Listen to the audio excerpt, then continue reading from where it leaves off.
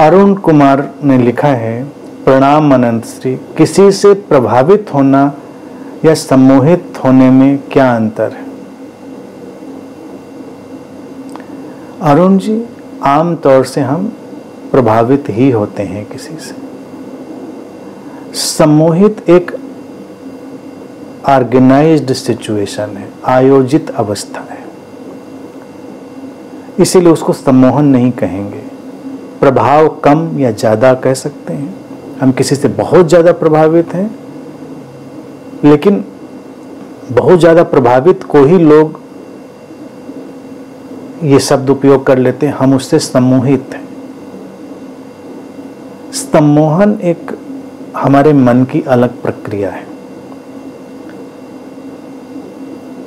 जब हम कुछ सुझावों के माध्यम से अपने मन में एक अलग अवस्था निर्मित करते हैं। वो सम्मोहन है। तो किसी से सम्मोहित होना, क्योंकि ये तो आयोजित होगी सम्मोहन की अवस्था, तभी होगी। लेकिन ये तो हमने ही उसके प्रभाव में अपने को डाला है। तो वस्तुतः वहाँ पर वो सम्मोहन की चीज़ नहीं घटी है। ये ज़्यादा प्रभाव हो सकता है, गहरा प्रभाव हो सकता है, काफ़ी अपनी छाप छोड़ने वाला प्रभाव हो सकता है तो वो सब है और इसीलिए हम उससे कभी भी बाहर होते हैं। सम्मोहन से बाहर होने के सुझाव कहीं और से आते हैं। तो इसीलिए जैसे कई बार हम आम उदाहरण में भी देखते हैं ना कि कोई किसी को सम्मोहित कर लेता है, हम किसी के उसमें सम्मोहन में चले जाते हैं, हम नहीं जाते। ये शब्द हैं, उपयोग किए गए शब्द हैं, अच्छे शब्द हैं मोहित हो गए मतलब हम आकर्षित हो गए। यूँ देखा जाए सम्मोहन शब्द भी अपने में बड़ा सुंदर है। इसका नकारात्मक ढंग से लोग उपयोग करते हैं। भारत में देखिए स्तंभ जो शब्द है ना, संस्कृत से आया हुआ स्तंभ शब्द का उपयोग कितनी जगह डाल देते हैं। समाधि, संभोग, संविधान सम्मोहन संविधान क्या है? जो बहुविधान नहीं, यानी कि एक ही विधान, एक ही कानून जब सबके लिए है तो वो सम विधान हो गया। अलग अलग है सबके लिए तो संविधान नहीं हुआ। समभोग, जब दो लोग ऐसे शरीर मन के भोग में उतरते हैं जो दोनों के लिए सम हो, सम्यक हो, संतुलित हो तो सम हुआ।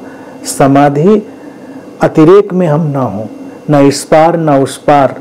न इस ध्रुव पर, न उस ध्रुव पर। बिल्कुल मिडल पाथ पे सम हो गए, समाधि हुई।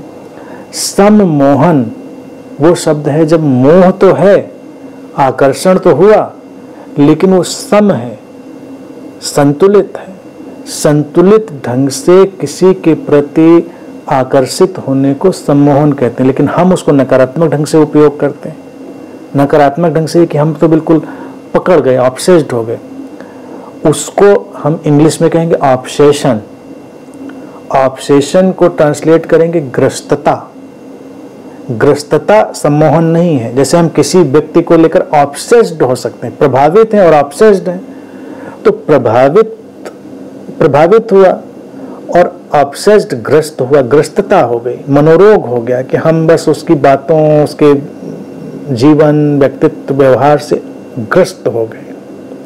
सम्मोहित नहीं हुए। क्योंकि सम्मोहित अगर हम होंगे तो हमारे जीवन में एक खिलावट आ जाएगी। आकर्षण में एक संतुलन पैदा हो चुका होगा। तो इसीलिए किसी के सम्मोहन में तो हम बहुत कम पड़ते हैं। कभी कभार कोई किसी के सम्मोहन में होता है। मोहन, यानी आकर्षण शब्द है। आकर्षण तो घटा, लेकिन वो ग्रस्तता नहीं बनी ऑप्शेशन नहीं बना है। लेकिन आकर्षण को इनकार भी नहीं किया है। तो हम दो दिशाओं में रहते हैं जीवन में। या तो हम बिल्कुल फ्रीज हो जाते हैं, पत्थर जैसे हमें किसी से कोई मतलब नहीं, लेना देना नहीं। या हम बिल्कुल ग्रस्त हो जाते हैं, बिल्कुल किसी के ऊपर बिल्कुल कहते हैं ना, बिल्कुल चिपक जाना, जोंक की तरह। उदाहरण की तरह समझे, जोंक वाला बहुत यहाँ फिट नहीं हो रहा है, लेकिन वैसे ही जैसे कि हम बाहर से किसी चीज़ को बिल्कुल ग्रस्त होकर पकड़ लेते हैं। तो प्रभाव और ग्रस्तता के धरातल तो लोगों के जीवन में होते हैं। यानी कि